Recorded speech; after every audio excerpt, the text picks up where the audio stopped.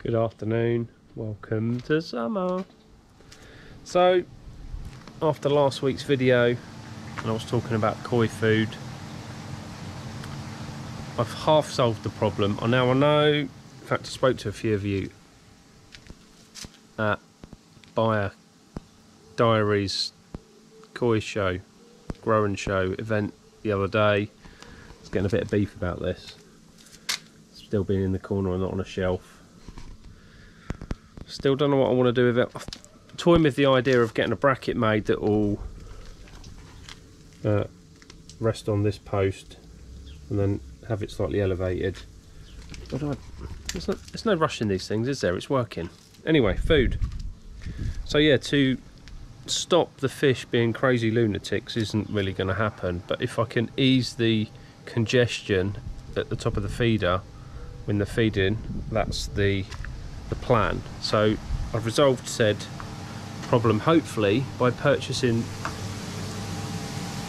as we know, the world's most expensive koi food near enough. So got some Saki Balance sinking.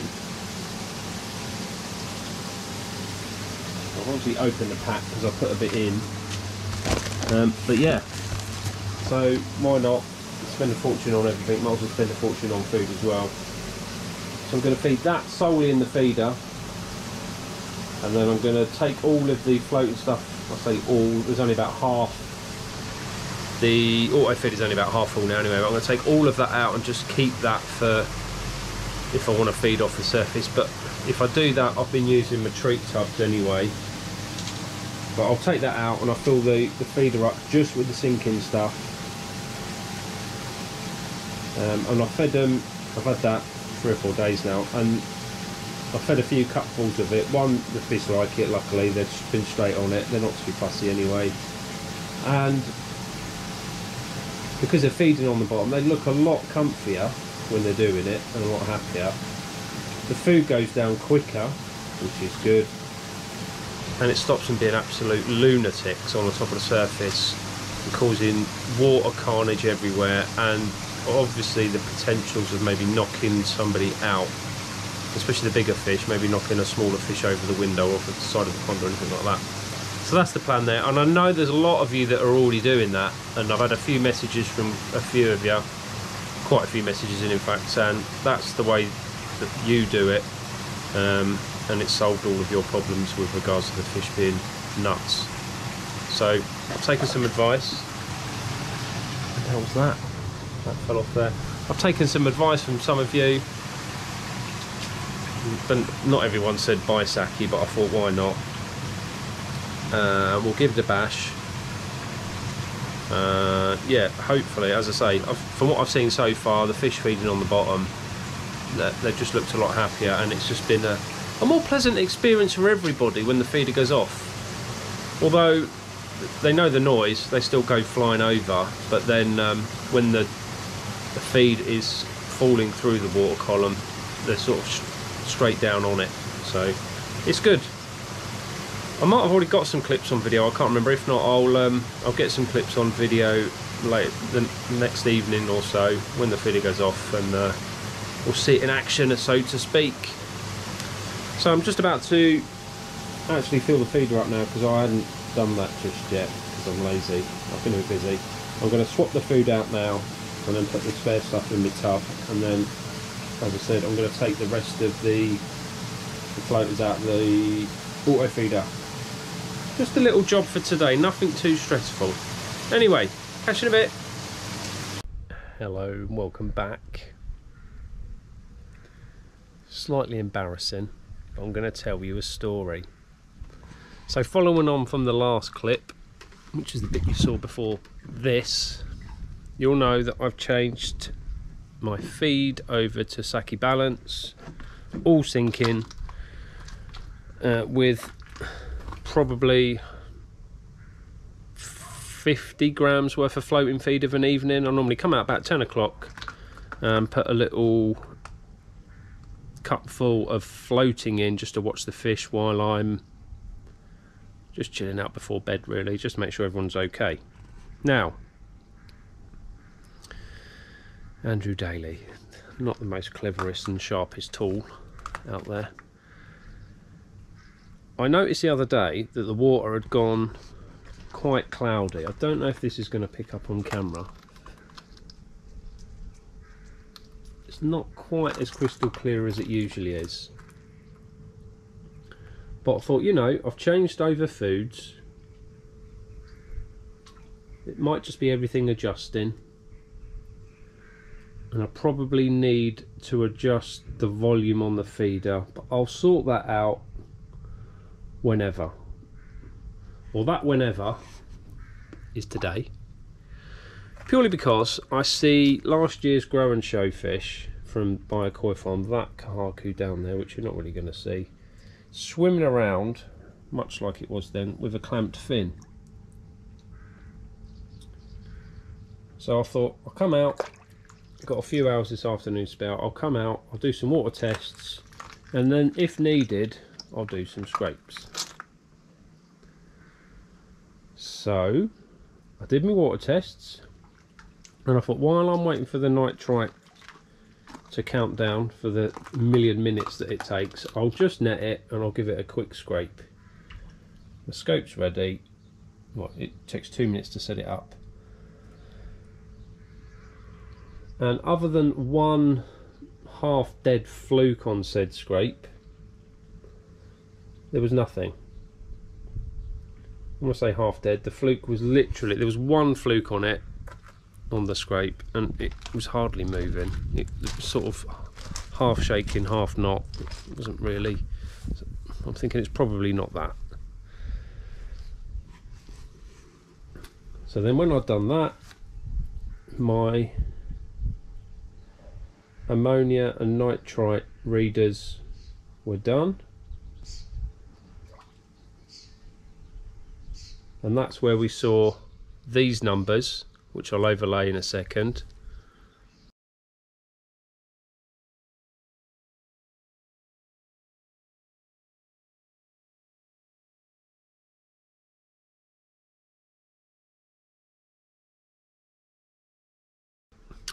so right not good reading is it? So what have I done? Well so I filled the feeder up with the new Saki balance and I've not adjusted any of the settings on the feeder so it's still feeding at a rate of three whatever the, the number three feed amount is. On the old setting which was 30 grams on the old food sorry.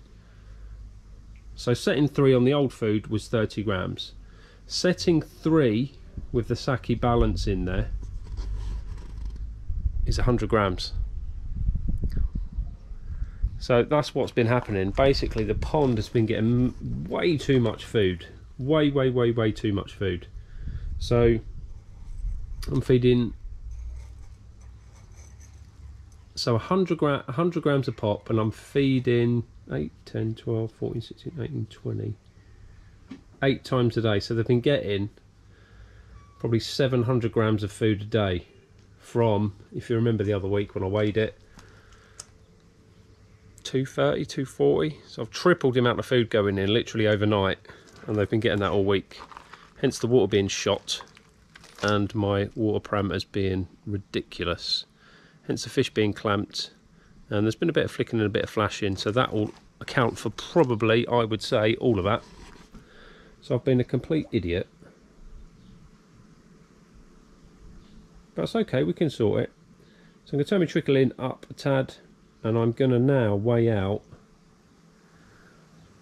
again so I need that I need a tub and I need my scales I'm going to weigh out each of the the feed settings on that with the Saki balance in it so I know exactly how much I'm feeding so that there's quite a lot in there that's how much they were getting that's half enough half a mug maybe a third of a mug of pellets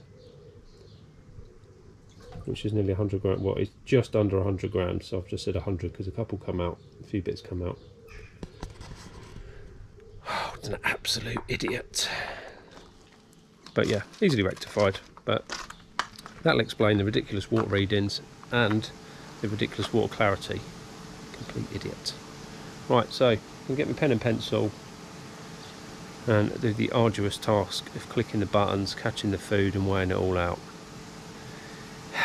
We'll come back in a bit. I've got last when I did the last lots of food, so I'll uh, we'll have a look at the, the different amounts between the feed settings for the different types of food. Even though I can't quite remember what the old food was, I still haven't bothered looking for that, but it's irrelevant now, really. But uh, yeah, so that's what I'm doing. I'll catch you in a bit when I've done the task, and then we'll have a look. See you in a minute. Oh my god, right, we've done our working out. So quickly, I'm just going to show you the pellets. So that's what I was feeding, which I can't remember what it was exactly, probably some kind of JPD stuff, can't remember. And that's the Saki, so it's quite a bit smaller, but it's a lot denser, obviously because it's a sinking pellet. Anyway, so then, I've just gone through all the feeder settings, and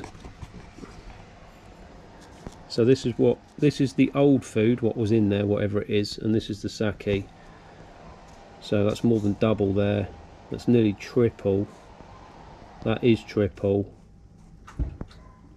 That's two and a half times. That's nearly triple. I didn't go much I didn't go above setting 5 on the feeder because look at that 155 grams of Saki setting 5 I'm never going to be feeding that I'm probably going to be around one, two, three, or four, which is a maximum 122 grams of feed. But we're we're not on that yet because it's not quite warm enough. I need to ramp the temperature up. What's the cat doing?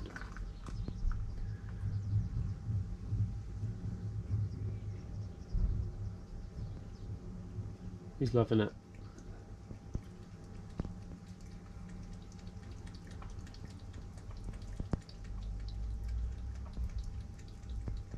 So I've now changed the feeder to this. So 8 in the morning, setting 2, 61 grams, 10, 1, one feed setting 28 grams. That gives me, with a hand feed of the evening, without a hand feed, sorry, 328 grams. You probably can't see that. I don't know why I'm showing you that close up. So 328 grams, so that's slightly more than I was on before, but massively less than they were on uh, for this past five days. Oh my god! So I've put I've put 500 grams of bloody food in in five days. Hey ho. So that will definitely clear the water up, and that will definitely stop the fish from uh, looking a bit moody, and hopefully flashing, flicking, and all the other jazz that they've been doing. And there's been a lot of waste in the pond, but obviously I've gone from a reasonable amount of food to an absolute crazy amount of food. And I might have a look in the drum actually, because there's probably going to be a lot more mess in that. It's probably due a clean anyway, so I may do that. So lesson learnt, if like me folks, don't be an Andy. If like me, you haven't weighed all that stuff out because you've been putting it off and not really thinking about it, do it. Because that's uh, could cause me a lot of issues, especially if I've gone away and the auto feeder was spewing that amount of food in. But we'll see. Well, not we'll see. Don't do it. So I'm going to have a quick look inside the drum. I've turned my auto feeder off now for today, so I'm not going to feed them anything today. And then I'll do some more water checks tomorrow, just to hopefully see some of these numbers come down because as we know nitrite and ammonia is not the, uh, the best thing in the world for your fish. But I'd like to think in the next few days that the filter will catch up. I'm going to turn the heater up because it's absolutely roasting. I want to make use of these temperatures I don't know what we're at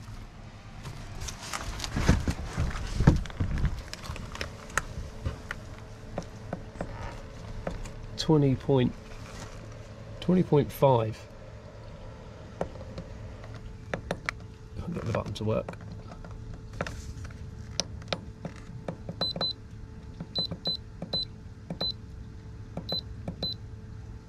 So 20.5, I'll put it up a degree, so 21.5. and then in a couple of days I'll knock it up again. What am I like? Right, let's tidy this stuff away, have a look inside the drum, give that a jet out. And if I find anything interesting in there, I'll show you. Right, catch you in a bit, bye. Disaster. I pulled the hose over ready to plug into there, just the hose, left it in here, went back, turned the water on, come back. I forgot I had a connector on the end of the hose. So just spraying water everywhere. Hey ho. We'll have a, a mini disaster. So,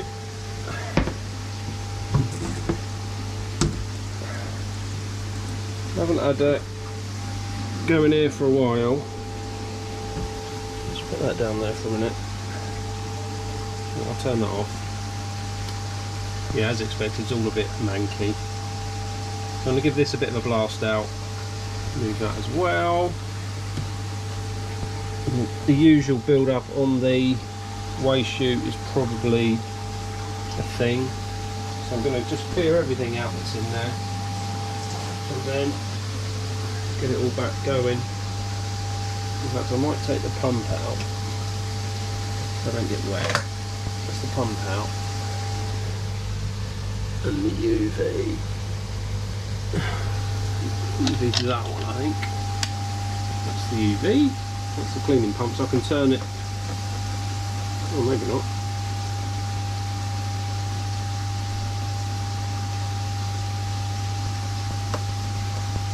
What's going on?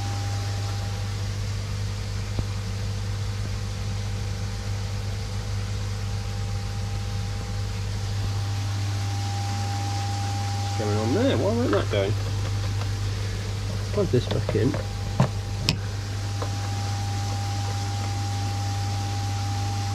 Oh, that's the drum. That's not for the UV, that's for the drum. Right, that's the cleaning thing. Right, there we go, that's the button I wanted. Right, the UV then. Maybe that's the UV. Should label them really. That's just, it's like a spare one. They're labelled, but that's not. Right, I've got a torch.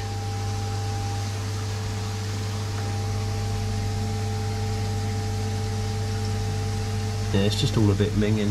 So give it a big clean out, ready for the summer season ahead. We'll be good to go. Right, let's make some more mess. I've just taken the waste chute off and as expected there's always a build up of a few bits of junk on the, the chute and you can see in the edges of the drum there as well so I'm going to try and get as much of that out as I can. Um, I'm going to get, have to get a bucket to catch all the rubbish that's going to come out. Great!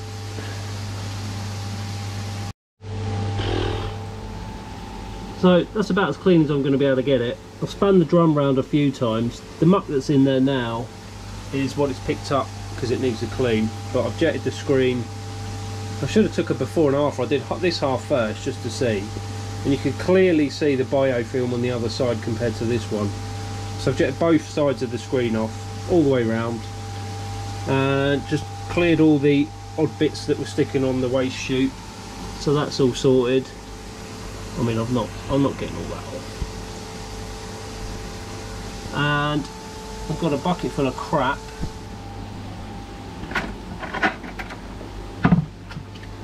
Get that out.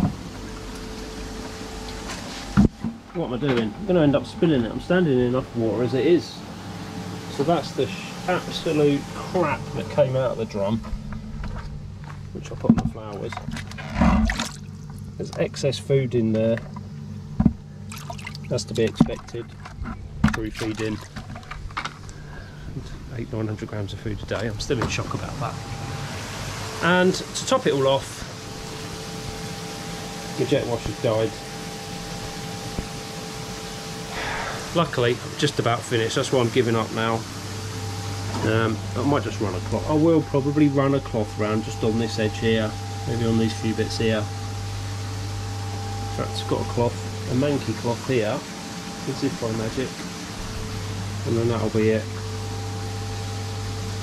But it's not really I think I, I gave it a, a, jet out maybe twice last year and a bit of a clean up. So there still is a little bit of maintenance to do with a drum, but it's not like a weekly or a, a daily maintenance you'd be doing with uh, something else mechanical wise. Anyway, we'll put it back together. It's obviously due a clean, and then I'll see what else I've managed to catch. I'll put the camera on the chute and we'll see what else we've got that's come out. There was a few big lumps of I don't know what it was, congealed crap, but it's all gone now. Right, see you in a minute. So, put the drum back on.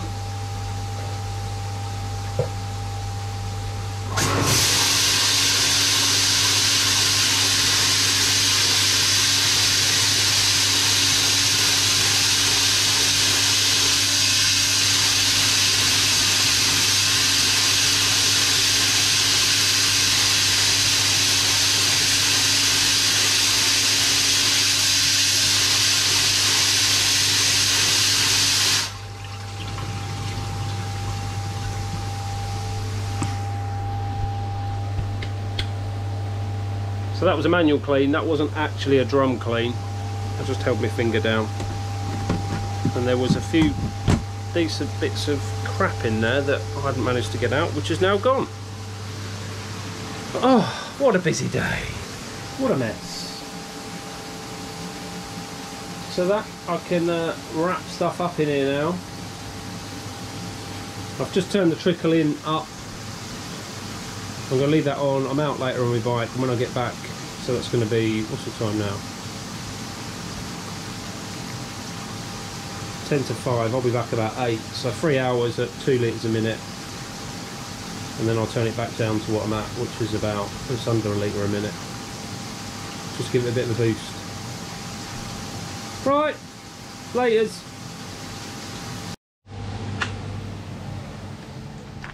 So there we go lesson well and truly learnt. Complete idiot. Hey ho. Very heavy. A little bit heavy. Anyway, so that's it for this week. Thanks for watching me moan about koi food and the expensive stuff that is koi food and not knowing how much koi food wastes. I'll catch you next week should have already seen the buyer um, my god spit it out. Hopefully you've already seen the buyer koi show fish video. If not that'll be out in the next day or two. I have got all the clips put together. I didn't film anything on the day. It was just literally coming home and then putting the fish in the pond which you can't see because the water's rubbish. So yep thanks for watching I'll catch you next week. Keep your eye out for that other video if it's not already out. And I'll see you soon. Bye.